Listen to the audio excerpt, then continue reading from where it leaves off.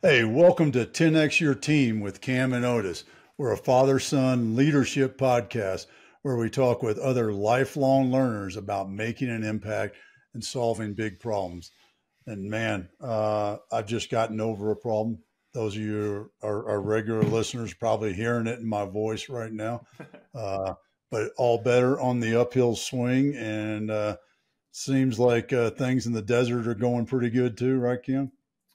Yeah, no, th- things are good out here. Just trying to deal with these temperature swings. We're hitting 79 today, and it was 35 last night. So it's just weird. Just a weird time of year out here. well, uh, speaking of temperature swings, those folks in Chicago don't have to worry about it this time of year because it's just cold. Isn't that right, cold. Andy? We got snow last night. Now it, it melted, but oh yeah, yeah. Yeah, you know, desert. my my one visit to Chicago was in November, and that was a not a good choice of the time of year to visit uh, the Windy City. That's all I can say. A lot of folks, you know, they want to come out and visit. I say aim May to early October. That's your. Yeah. I mean, you'll love the city then. Anytime oh, after yeah. that, it, it'll be rough. Yeah, yeah, it was. uh it was very fitting of the Windy City when Miss Suzanne and I were there. So yeah, we got a full taste of it. so, Andy, uh, Scaling Minds. We just talked about this uh, in the green room, rebranding, and there's nothing more exciting because we, in case you didn't catch it, we just rebranded the podcast. I saw it. Surprise. Uh, also, so I always love to hear well, what happened. What was the what was the thought process that got you to say, "All right, screw it, let's move and do this"? Um, well, honestly, I've never really loved going by my name, but when I started coaching, I wasn't creative. I had no idea what to name a business. Um, so I'm like, well, let's just start with Andy Hite Coaching. Um, but since you know, in the past five years, we've grown and we brought some some folks on, and it just didn't make sense. Mm. And uh, I struggled. I wouldn't say struggled, but I really searched for several months to find a name that resonated with me and what we do, and you know that that fun logo that goes with it. Um, and once we landed on scaling minds, I felt like ah, that's what we do. We we help people not just grow, but like scale who they are. Mm-hmm. Could could you walk us through a bit of that thought process? Because that's a fascinating thing to understand. Because everybody does it a little bit different. But I think uh, I'd love to hear your your thought process for how you came up with scaling minds. um, there were a couple of uh, AI tools that I just used to ideate, and I probably went through no joke, maybe two thousand names. It would come up, and I'd be like, "Oh, that's stupid." Ooh, I like that word, but that sounds very, you know, um, pompous. You know, so I kind of found about ten that I liked on various levels. I let it ruminate for a couple of weeks um, I sought counsel of friends and colleagues. What do you think? Uh, and narrowed it down to a few. Um, and then really, I woke up one day and I'm like, this is what we do. You know, we work with business owners to scale. It was a nice play on scaling. Um, and so, scaling minds, I really believe in the growth of the human is the thing that changes all of leadership and all of business. So scaling minds seemed to really fit. And it's resonated really well with folks. I get comments uh, often saying, "Ooh, I love the name." And that makes me feel pretty good you know, it, it sounds like you had to go through a little bit of this balance. We've done the same with like Tribe and Purpose, where when you have such a big, great offer like that, you start talking about, you know, scaling minds and what it does to unlock leadership and all these different kinds of things. It can really be really easy to get into like I think you said pompous range and these kind of things. Yeah. How did you how did you keep that balance of like, look, here's the big promise because you know you can deliver that, but at the yeah. same time, it's like you know if you put I, will change your life as the name of the program, it's like all right, that's a little weird. there were there were a lot of those that came up like um, soul catalyst and um, uh, the greatest coach or like just random stuff. And I'm like, that's I don't want to be that guy. I want to be a guy who does really good, meaningful work. And that just felt like home. You know, I also just wanted something that rang in my ear because I, I felt like if it rings for me, it'll ring for others. And I, I really wanted too a logo that that represented what that was. If you haven't seen it, our logo is sort of a, a tree with roots that grows up into what looks like a tree, but is actually a mind, a brain. Um, and s- secretly, it is takes the place of the I and mind. And, you know, the I is what's really important to me. Um, so things just started to fall into place. Um, and yeah, we're, we're loving it and it's resonating. In that kind of vein, how did you uh, how did you help to prevent the shiny object syndrome in the rebrand? Because I know the naming process can be really fun. You know, us entrepreneurs get in there, can have a lot of fun with it. How did you stay in one direction there? So I really have a very difficult time focusing. With that, I had to tell myself I'm not doing this work during work. So oftentimes I'd, you know, just be sitting on the couch with that AI tool or ideating um, because man, can I waste some time. I just posted something on LinkedIn yesterday that a client came up with, but I'm going to start using, which is we all have to do lists. I, this client and I need a to don't list. that thing like don't scroll, don't, you know, multitask, get rid of people that suck your energy and just like plaster it right there. Um, because I'm I'm reliable to get some work done, but I can, as you say, shiny object, I can get confused and all over the place. I'd love to dive in on that to don't list because I think that's something I, have done a few times with myself. I not consistently, but I've had a couple days where it's like, all right, hey, don't do these five things today, and you can get a lot more done. Talk us through a little bit of that process. Well, honestly, I, I I learned so much from work with my clients that this is why I am going to implement it. We were working on um, him remaining kind of focused. You know, he always complained that he would lose focus, he would lose energy, um, and not really get to the things that we talked about getting to. Um, he loved lists, love lists. So I'm like, well, let's create a to don't list and plaster it on your computer. Um, and it, it was everything from scrolling, which I can doom scroll all day long if I don't check myself. Um, he was in an office and there were some like energy vampires there and we we were like you have to isolate yourself because they're just drawing way too much of your your energy which energy is the creative force right? Um what else? Uh, perfectionism. He had to remind himself just put it out there. Just do the thing. We came up with an imperfectionist. Be an imperfectionist so yeah, finding those things that kind of derail us and documenting it, putting it right in front of us, just like we do our goals or our to-do list, just as powerful.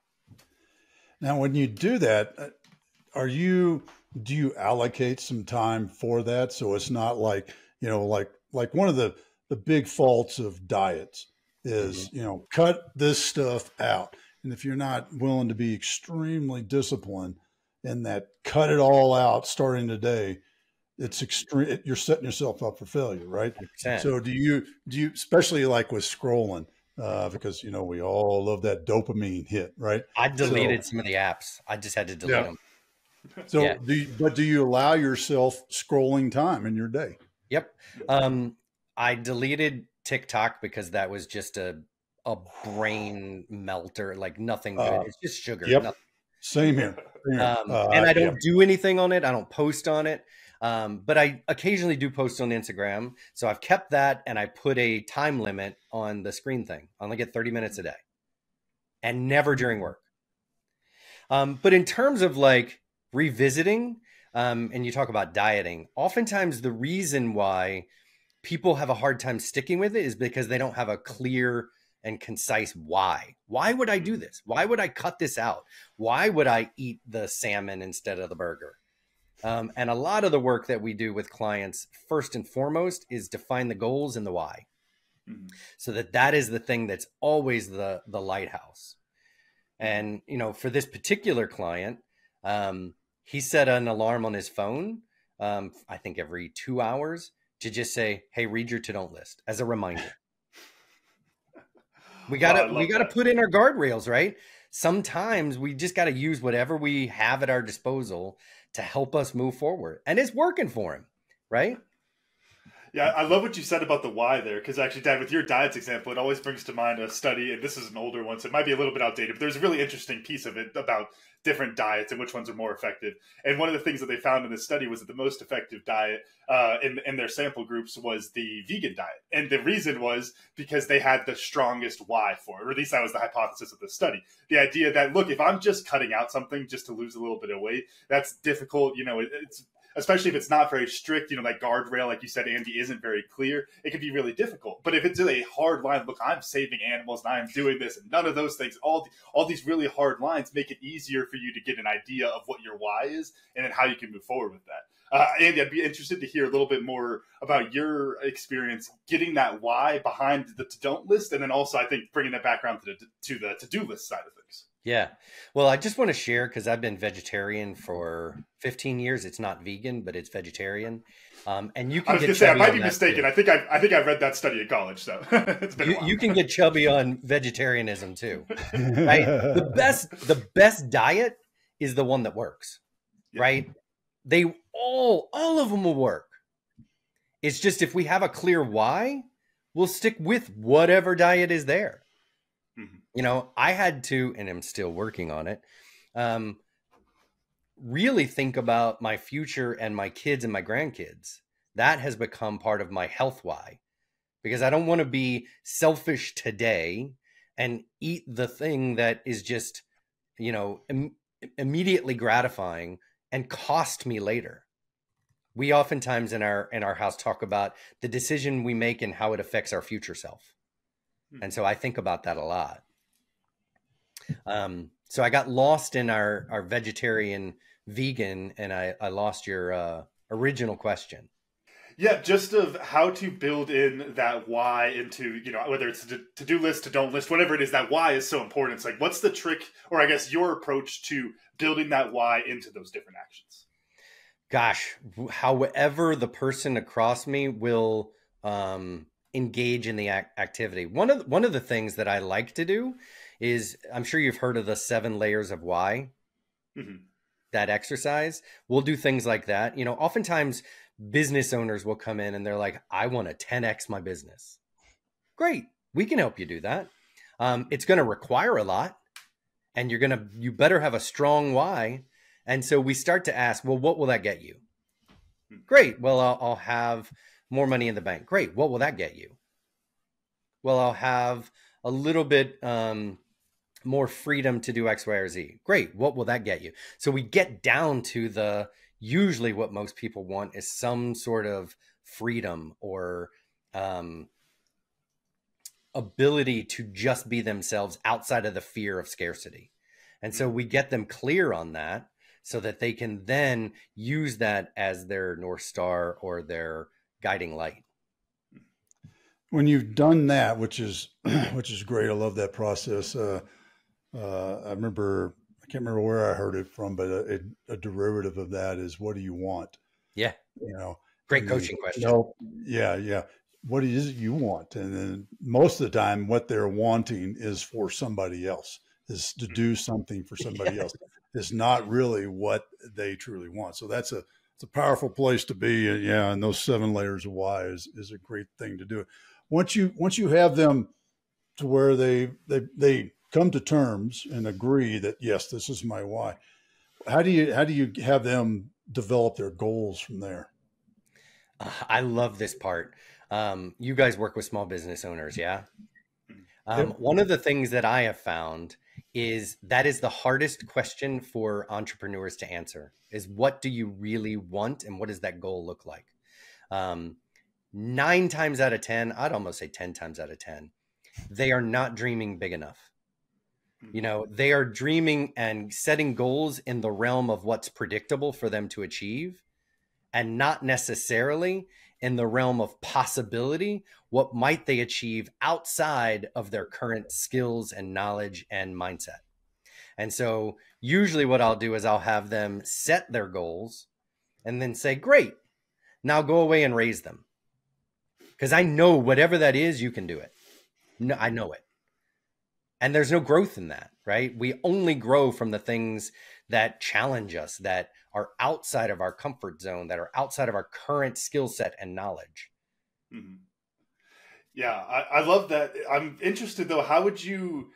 Uh, I don't know if square is the right word because usually you say square when you're squaring two things. These are three things though. Uh, but you know that idea of dreaming big and like pushing yourself beyond that so you can actually grow with the uh, the need to have it be either realistic or I think you get into this like this area of ambition to where it almost becomes to start feeling pompous of like I can't go do all of these different things and then that also could just be imposter syndrome at the end of the day. So those three can all kind of fight in different directions there. How, how do you square those?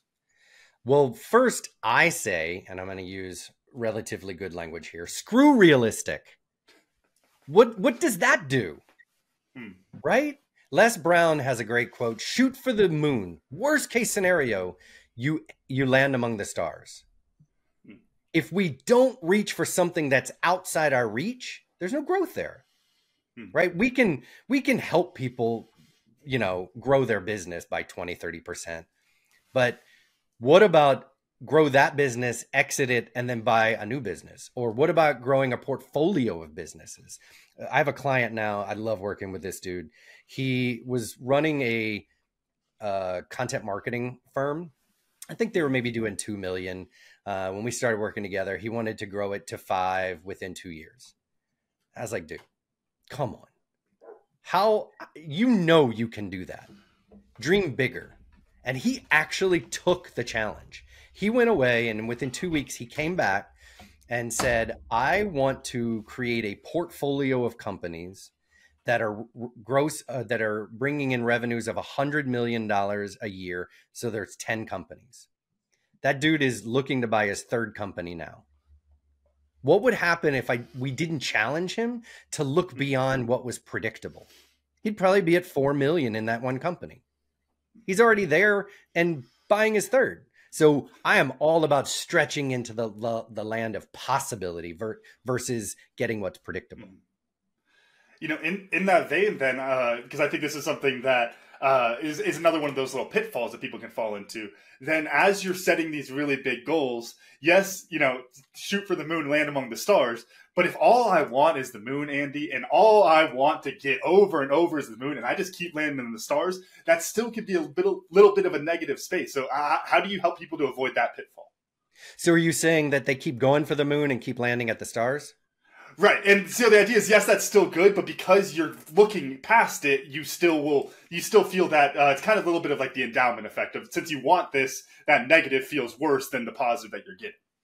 Yeah. I think if I'm understanding, like part of it is just our relationship to what the results are. And I try and work with clients to reframe the context of their relationship to the results because that's always going to dictate a mood, feeling, or emotion.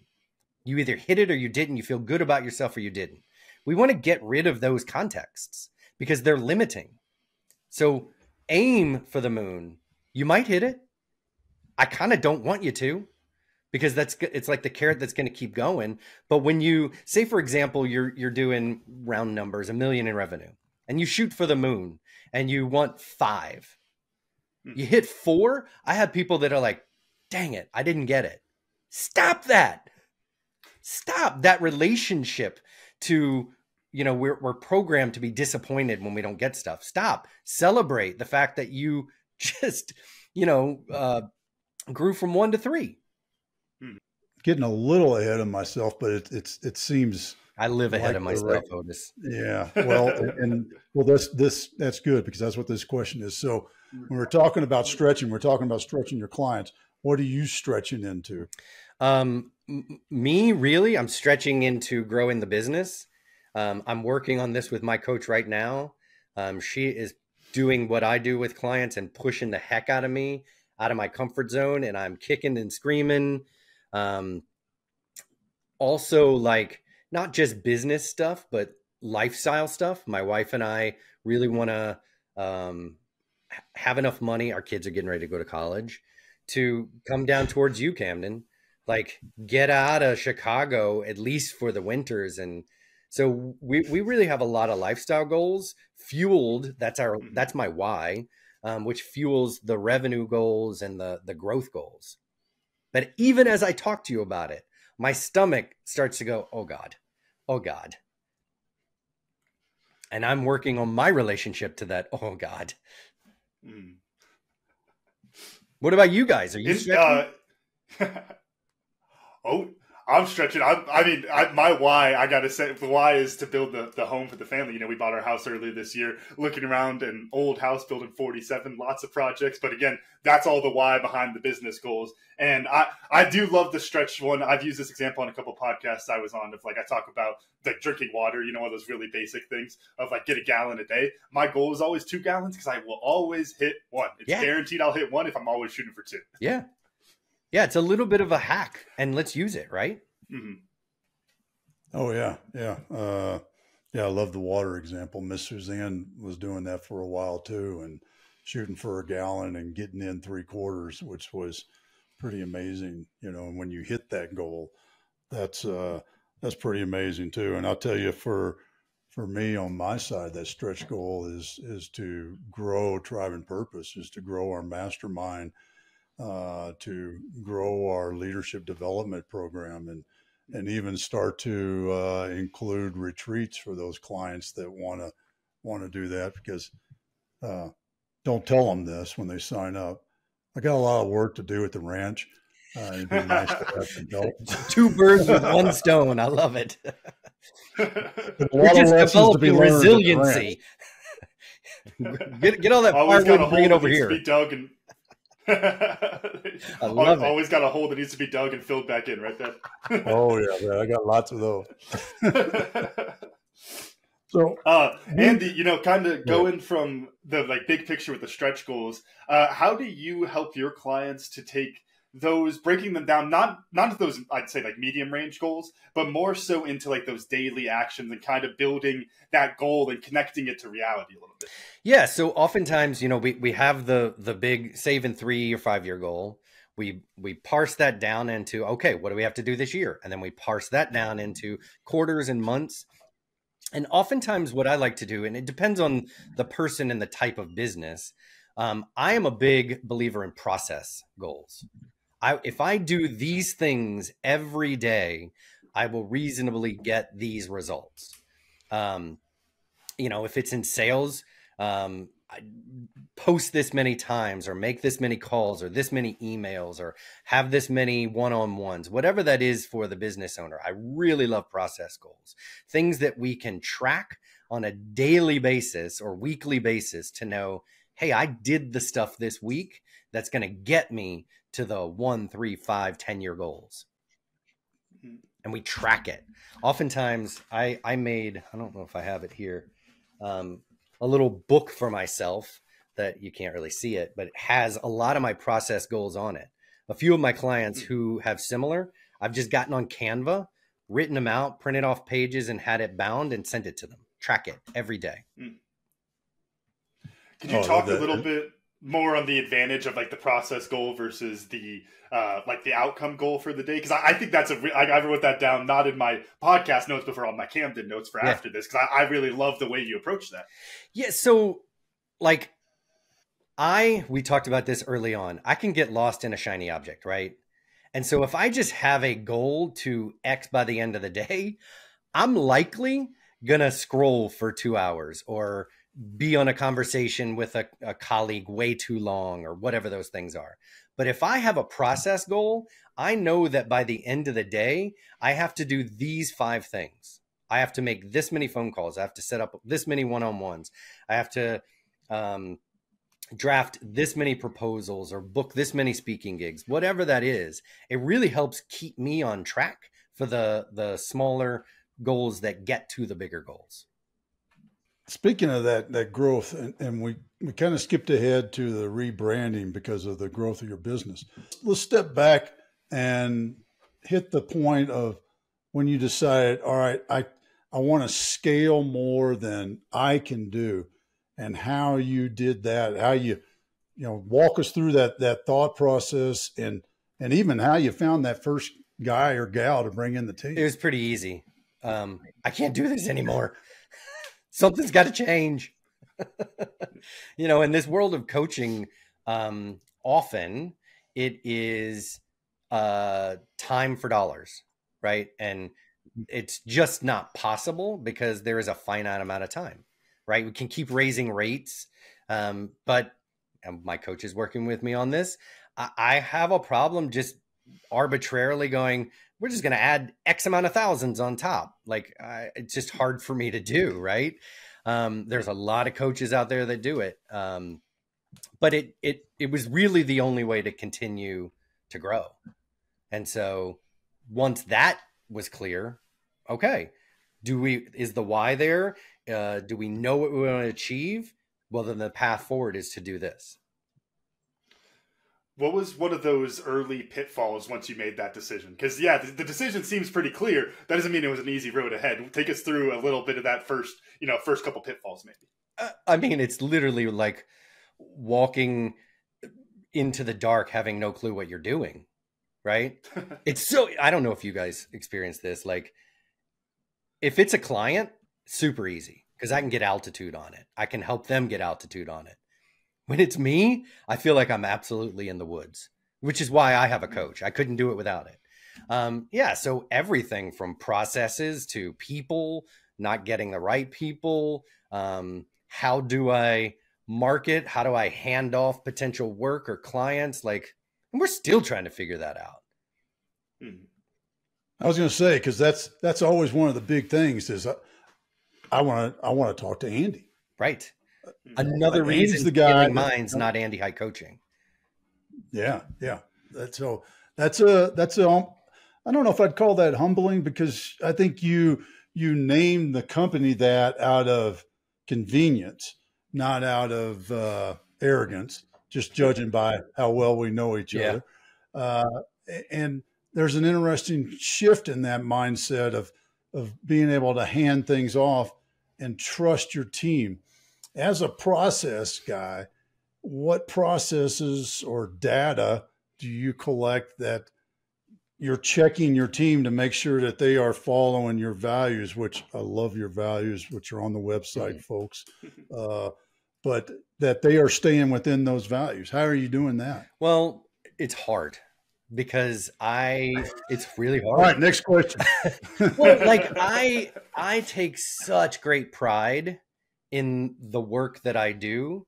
Um, and I I have a really hard time especially when it was my name like having my name and transferring that off and not being able to ensure quality or ensure anything. And so the few people that I do work with, I know them. I've seen them coach like I've seen with my own eyes. I've seen them socially, um, if if not in person, but online. I like I feel them. I know that we are somewhat kindred. Um, and then it's like experiment, try it. Did it work? Was the client happy? Are they renewing? Or you know that kind of thing. So it's all like just figuring out as we go. People, as you know, people in my business, your business, or any other, it's the hardest part of the whole darn thing.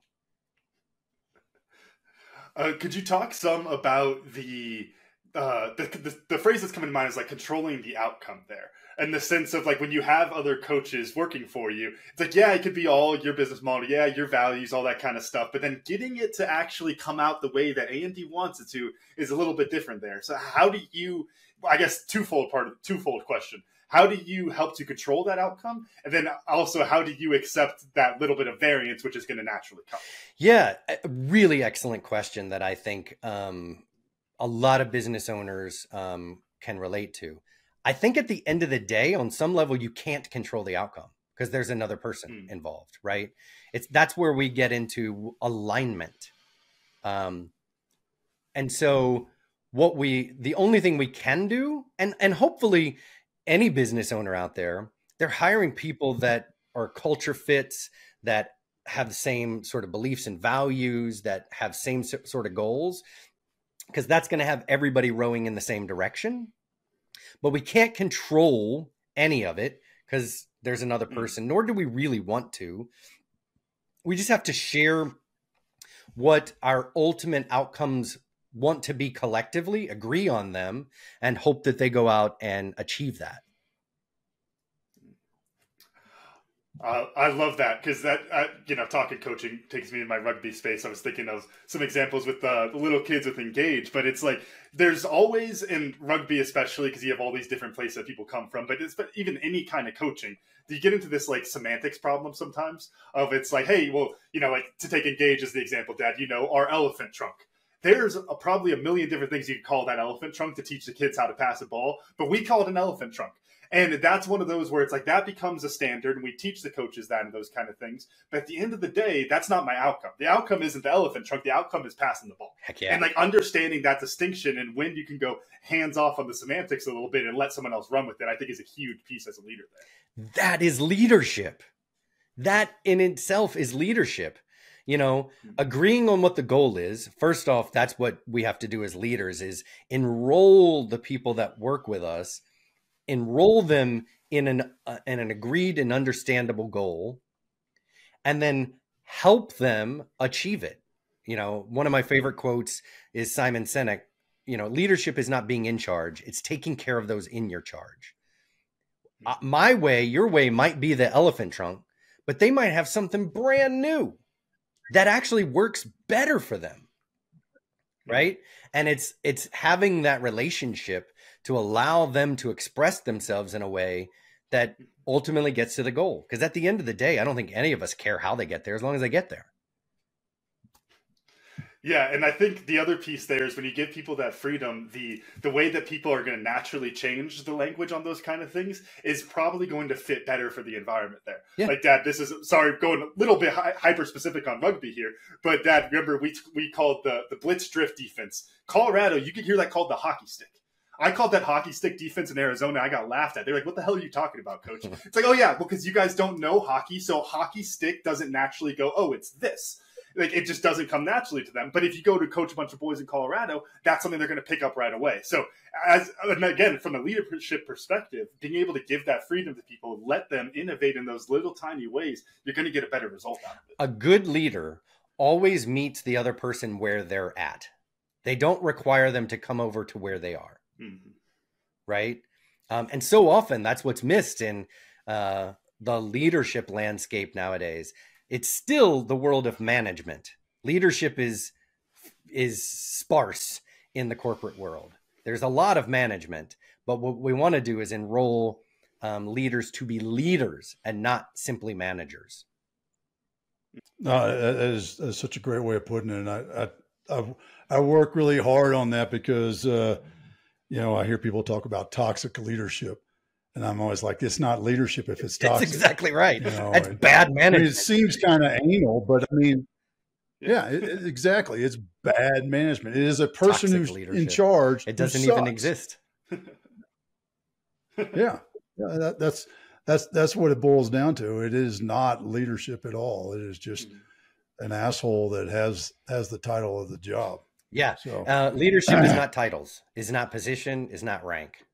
Oh yeah. You know, you you remind me, I haven't shared this, I don't I don't think on anything, but it, it reminds me of something we talk about uh, in the special forces world when we're dealing with uh, guerrilla forces. You know, it's not the it's not always the guerrilla chief. And folks, uh, you got to read some books if you don't know what I'm talking about.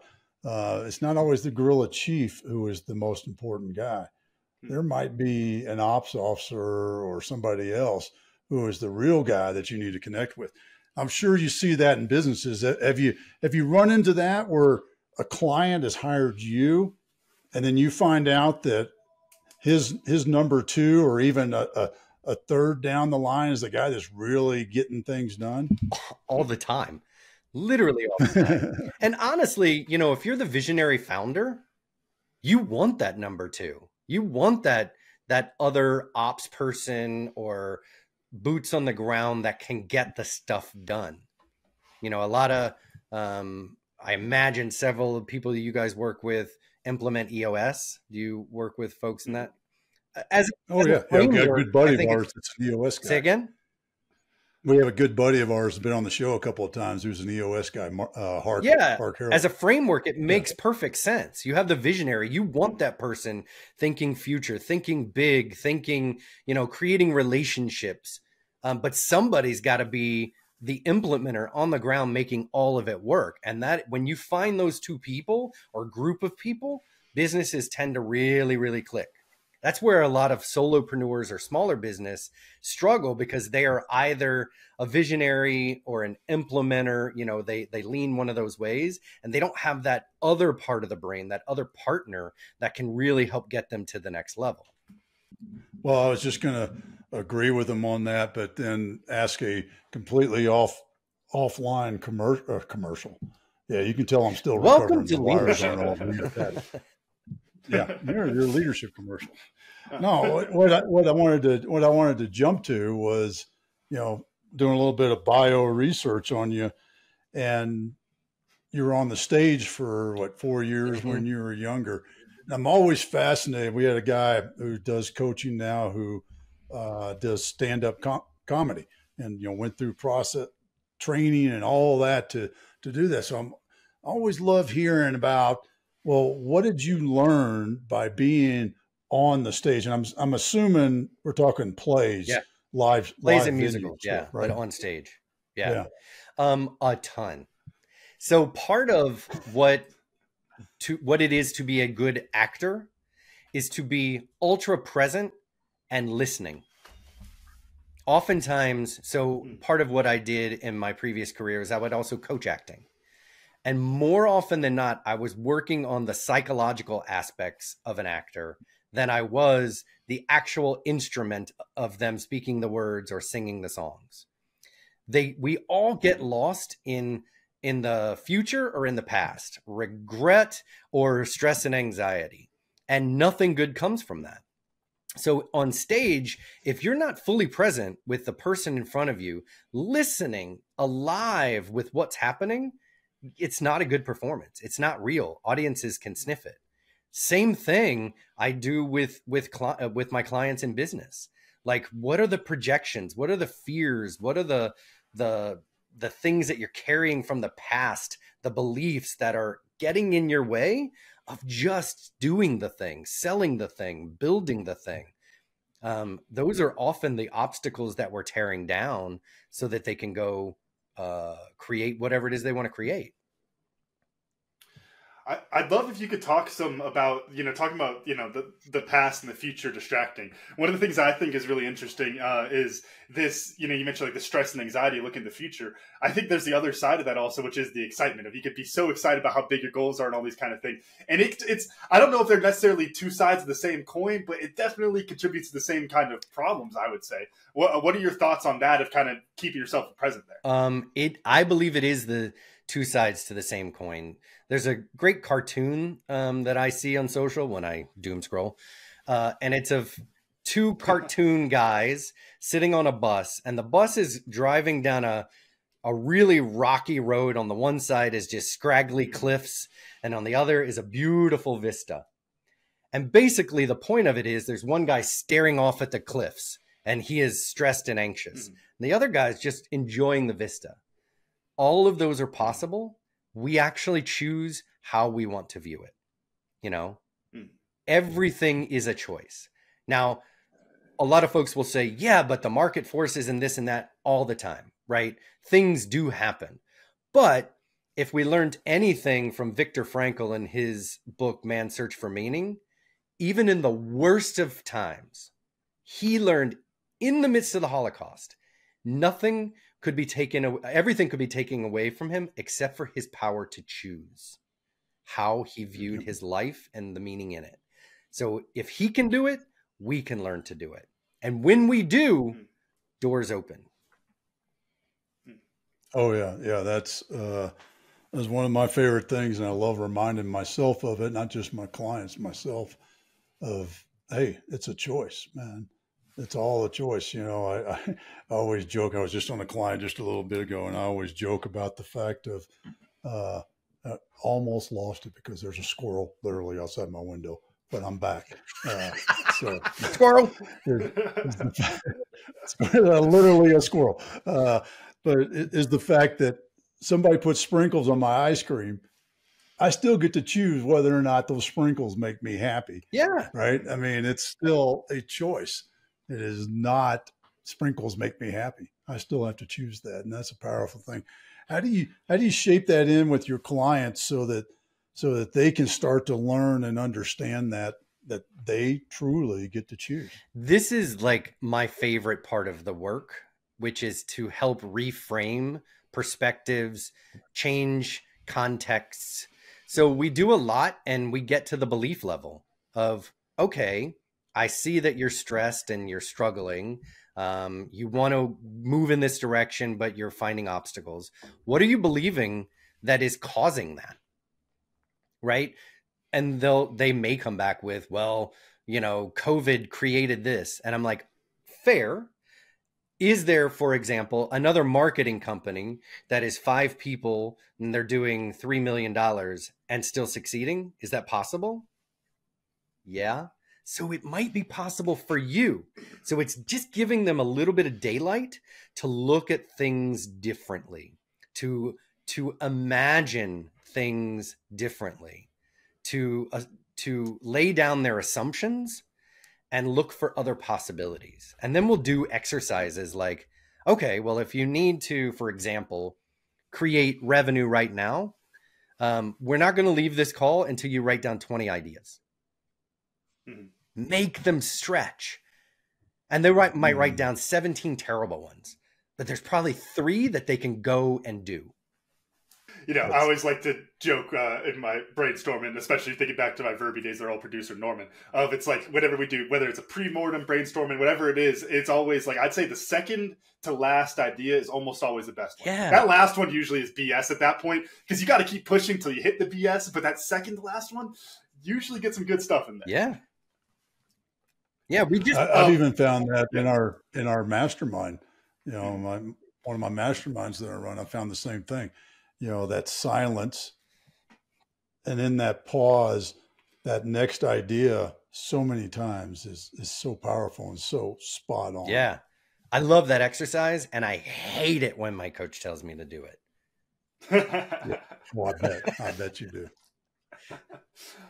Uh, you know, Andy, one other thing, and we, have kind of touched on this, but just into just in like the psychology of the entrepreneur, uh, this is one where honestly it's on my mind because I was cutting a clip that comes out later today on our podcast channel from a previous episode. But talking about the idea of like pressure creating excellence versus like the idea of the safety net making you feel more comfortable so you can excel uh, you know the idea the, the idea being that the safety net it might make you feel more comfortable but it also because you're comfortable you might not push yourself or anything like that. I'd love to hear your thoughts on that or if you've had any experience with clients in that kind of area. Yeah i think i think most people have some version of the thing that makes them uncomfortable and it's much easier to just sit in the safety net. What i like to do is help them see the context that they're wrapped in. You know oftentimes if those are the two options they're in a context of all or nothing. Well, I if I go this direction, I'm definitely I'm going for this thing and I'm definitely going to be stressed and anxious and pressure filled. And the only other option is to stay here in the safety net.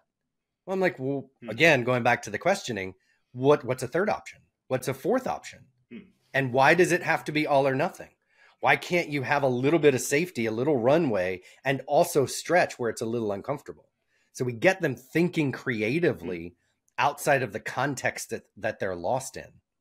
I'm thinking like it's all you know you say like burn the ships. It's like burn the ships, but like don't burn down all the trees on the island. You know, keep those trees. Still give yourselves another option later on, right? yeah. Some people need to burn the ships. Some people can't. I did when I started this business. I literally left my previous career with like nothing like no money. I had to borrow money. But for me, and I did a lot of soul searching, it was the right thing. Right? We don't want to make stupid mistakes. One of the things that I knew was I knew I was going to make it. I knew I'd do hmm. anything I had to. So different strokes for different folks. Yeah, the safety net is I was just thinking the safety net is really bad. You know, picturing you going across uh, going across a line across a valley or something. You know, you got the safety net down below. If you're just crawling like this, yeah, then you're not going to move very fast. But you know, if you know that safety net's there and you're just trying to sprint across it, it's like, oh, I got it. All right, back up, keep going, keep going, and that's your personality, and you can recognize that. And yeah, that's a pretty good path for you. Yeah. But I, I love that just because I think because the more I've thought about that problem set of you know is it is pressure that good or is the safety net good you know trying to trying to make it a little bit black and white just for the simplicity of an answer that's one of the things I usually come to is that it's like that personal component to it of well how do you act with the safety net versus how do you act when you burn the boats? Yeah. I I would probably in my work try to get them out of either either of those. Because hmm. either of those is not a full expression of who they are. It is some amount of gaining security, which is just fear, right? If we need security, that's a fear of insecurity. And on the other side, just the the pressure, pressure, pressure to succeed, that's insecurity and fear too. We want to get people hmm. outside of the realm hmm. of fear so that they can be the full expression of who they are as an entrepreneur and not pushed or pulled in any particular direction so that they are free to create whatever they want outside of any amount of fear. Now I gotta ask then, do we have a metaphor or analogy that works with that? Because we got the burn the ships, that one doesn't quite work. The safety net over, you know, over the tightrope doesn't quite work. You got one? We, we could just be spitballing here if you need. this is where I'm I lack creativity, Camden. Can you one? no, no, I do not yet. But I, you know, I'll probably email you later today because that's going to be sitting in back. ways, it's like the you know, it, like the the Buddhist tradition is like the middle way. If mm-hmm. we're being felt pushed or pulled, it is not a full expression of who us or who we are. So, what might the middle way be? Mm-hmm.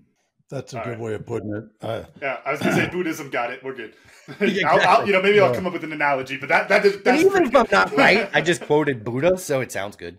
there you go. It sounds really, really important. And and if you got it even ninety percent correct, one of the things that we've learned on here on uh, our show is that quotes don't have to be correct. Mm-hmm. we accept that. Yeah, I want you get the meaning out there. That's man. the most important part. Oh yeah, yeah. We joke about that all the time, and I'm gonna I'm gonna tell you talking about joking and learning and these quotes and memorizing.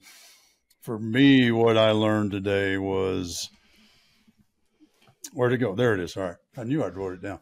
Was the to don't list? I just love that idea of the reminder. You know, I talk with guys all the time about where they want to be in the future, who and what, and, and most of them are like, I, I just don't know. Uh, you know, I really don't know about things you don't want to be.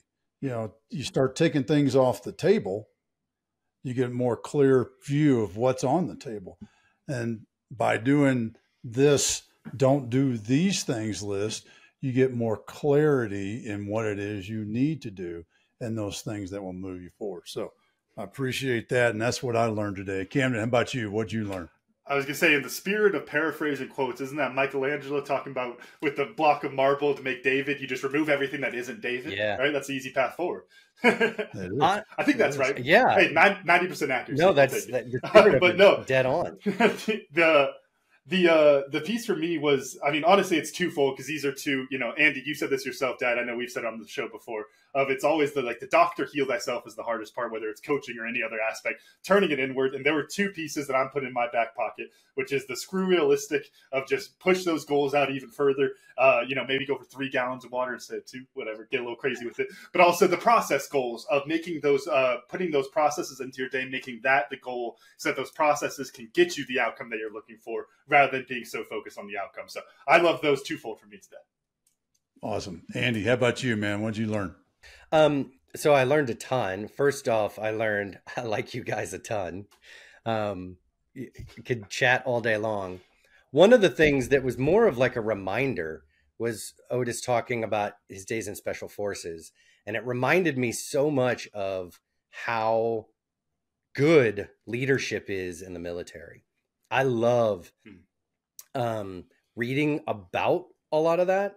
One of the things that strikes me is their level. You you think these dudes are like big, gruff, and which they are, Otis, but they're also incredibly reflective and vulnerable.